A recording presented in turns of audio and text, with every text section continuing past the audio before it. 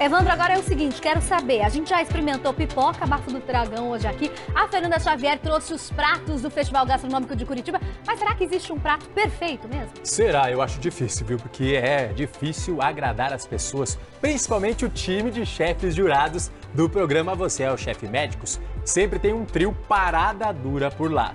Mas nesse caso, gente, acho que vai dar certo, tá? Porque eles precisam acertar a receita para quatro pacientes diferentes.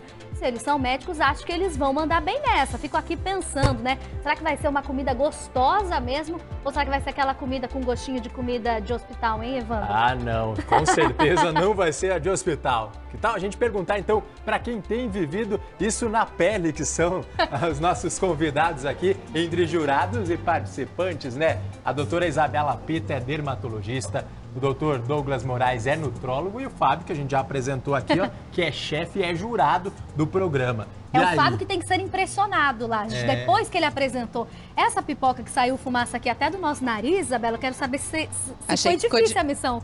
Achei Acho que ficou que sim, difícil, né? Como é que tem sido as gravações lá? Vocês têm conseguido... Você já sabia cozinhar antes? Já, já... Eu cozinho algumas coisas em casa, mas. Em casa, né? A jurado é outro. Douglas, e você? Já cozinhava também? Tá aprendendo agora? Como é que é?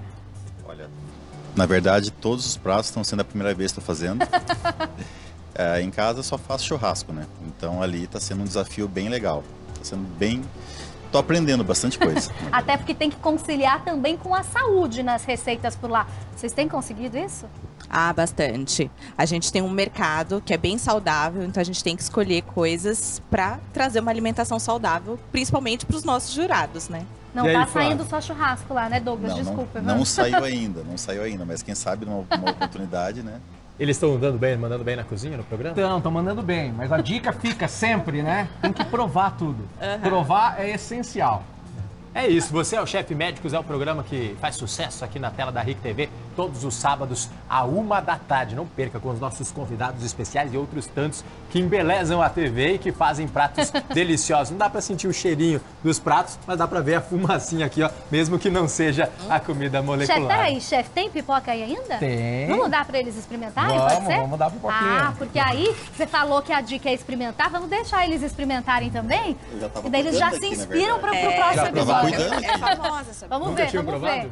Dá uma olhada no Douglas, olha aí, o Douglas e a Isabela experimentando também a pipoca do bafo do dragão do chefe Fábio Matos, que trabalha com gastronomia molecular e é um dos jurados do Você é o Chefe Médicos, que você acompanha sempre na tela da RIC TV, a uma hora da tarde, próximo sábado tem um episódio inédito. Gente, Douglas, Isa, façam um convite aí rapidinho pro pessoal acompanhar vocês, torcerem por vocês também, né?